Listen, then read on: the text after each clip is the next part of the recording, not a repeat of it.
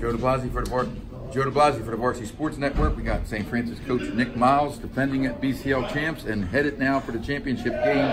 What did you tell your team at halftime when it's only a seven-point lead and St. and Loyola was not going to quit? We had to make layups. I think we missed a lot of layups first half, uh, seven or eight.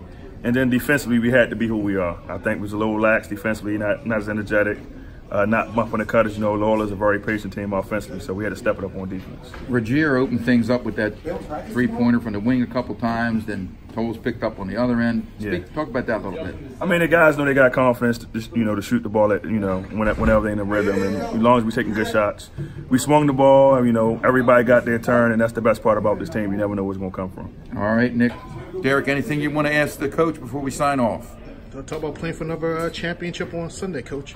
I mean, at St. Frances, man, that's that's the, that's the goal, man. We don't put up any, any second place banners, any consolation banners. You know, our goal is to win a championship.